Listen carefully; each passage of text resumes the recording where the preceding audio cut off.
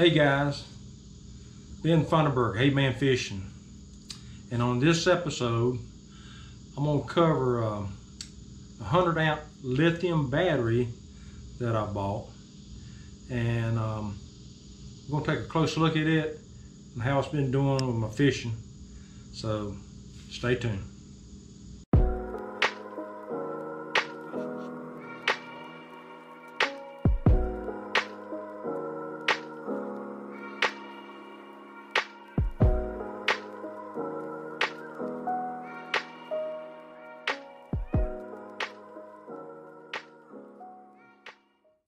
Okay guys, a real quick word and why I'm using the uh, lithium on the bow. I know some of you's thinking, why don't you just have it on your cranking battery?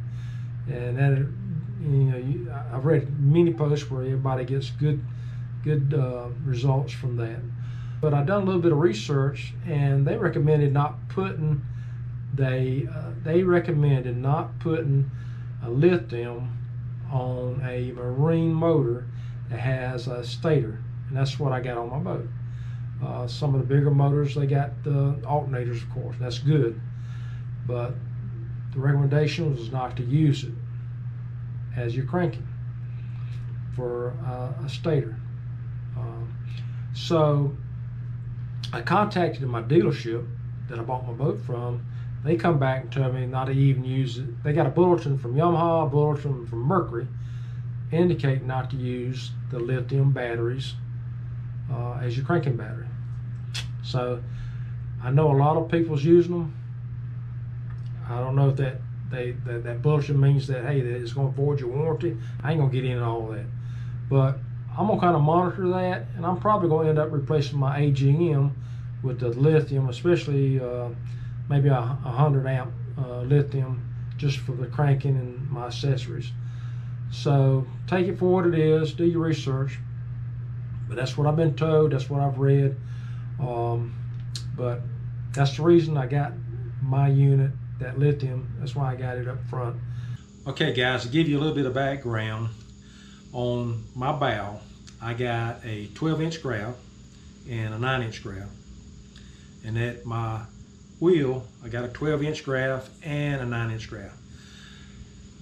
On my cranking battery, I have everything tied to that cranking battery except for that 12 inch graph on the bow and my live scope and the Garmin hub. I've been using this uh, I, Ionic and it served me pretty good. It's a 30 amp. I like the Bluetooth on it. But in the case, in, in like I was saying earlier, uh, I upgraded to the 100 amp lithium. Um, I ended up with a battery off of uh, Amazon that I've I've watched many uh, breakdowns where they tear it apart and looked at the battery and done all sorts of tests. And it appeared to me from what I've been reading, it's a good battery. And I didn't want to pay double the price on 100 amp Ionic compared to this, it's about half the price. Uh, let's take a look at this real quick. So what I did end up buying was a LiTime uh, off Amazon. It's a 100 amp, but this this particular battery here is called a Mini. It's about 35% smaller than the standard 100 amp battery. But this battery, uh, I'm hoping to get good service out of it. Now, this battery don't come with the Bluetooth like the Ionic. So I ended up adding Bluetooth to it. I ended up getting this, uh, it's called a Battery Monitor 2 uh, off Amazon. And that particular, uh, I mean, on that battery right now, um, I just took it took it off. I took it off the charger just a few minutes ago, without on my boat. Uh, you can see us doing um, what 13.98 uh, volts at 100%. So it's fully charged up.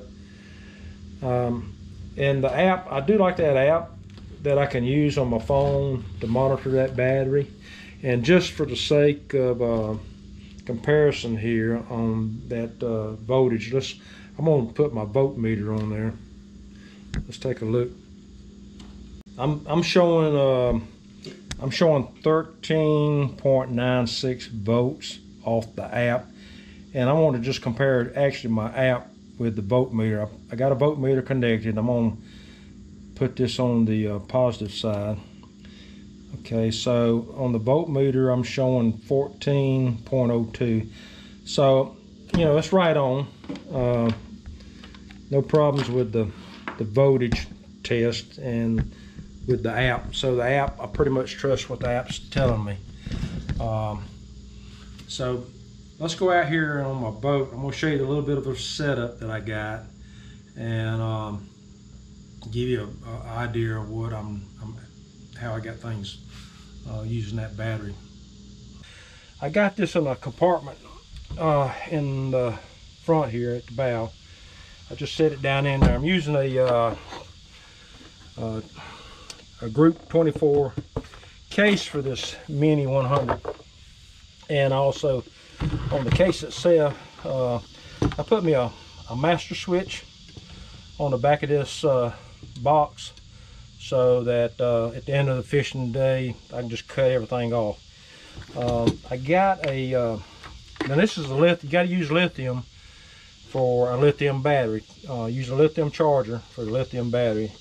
So I got that running out through a small hole at the bottom down here and I keep this inside the box with the lithium battery. And it fits pretty good uh, on this 100 uh, amp mini.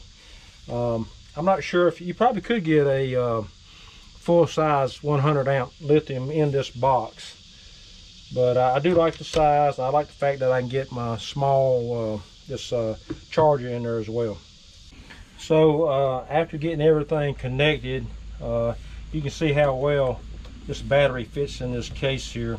I put some, you can use uh, like those the swimming noodles or you can use insulation, pipe insulation. I had some left over.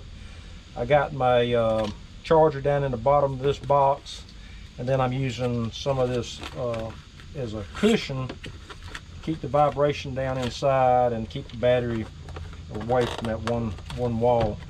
Uh, but it works real good. Um, and I'm I'm happy with it. So yeah. I'm gonna test this boy out see how well it does and holding up my uh, graphs. Okay you saw my setup. Let me tell you about that the application and and how well it did on the water uh, on a fishing trip um, I went out uh, one day this week to test this battery because the, the, first time when I first got the battery I didn't have a, a Bluetooth monitor to monitor it. I could only bring it back and just test it with my voltmeter to get uh, an idea of what where I'm at on the voltage. But with the uh, that app that I can do on my phone uh, and see what I got left over on that battery and, and what I got left over on the, the voltage um, on that battery. Um, I come when I, I fished four hours and I ended up with uh, uh, 13.25 volts after four hours and 66% of the battery capacity still on it. So I think I'm doing pretty good. I'm, I'm running about nine amps. If I run it constantly, that's running the live scope on my, my wheel and also upper on the bow.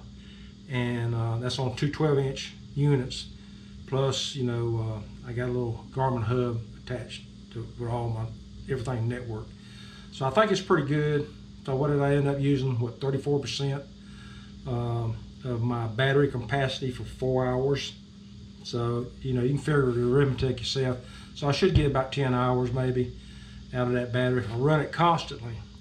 Normally what I do is uh, I put that uh, that wheel unit to sleep and uh, just run that bow if I'm by myself. But if I got a buddy or partner with me, my plan is to have that, that wheel unit up and running for him to look at it while we, are fishing with that live scope. So I'm hoping this is all going to work out for me. Um, I'm going to try to give you another update and maybe two updates in, in the coming weeks or months to see where this battery is at. So if you're thinking about looking at that battery, like I say, I'm not I'm not endorsing that battery or any of the gear that I'm showing you, uh, but I'm trying it. I'm gonna see what it does. And uh, on Amazon, the uh, LiTime is running about 369 with like a $20 coupon, I think, right now. I'm gonna try to put all those links, everything that I'm using in the description. And, um, I don't want to get in, I didn't want to get into the math on amps, how many amps you're using on the live scope, how many amps you're using on the, the 12 inch. Uh, a lot of that's already there. Uh, even Garmin's got some formulas that you can use. But for me, uh, I figured up about nine amps is what I'm using altogether. There's several guys out there that's already got that on, uh, on, on YouTube that you can figure up your ampage if you want to get into detail. So, I hope you have a good day. I hope this helps you. Subscribe to the channel. And uh, until the next time, God bless all of you.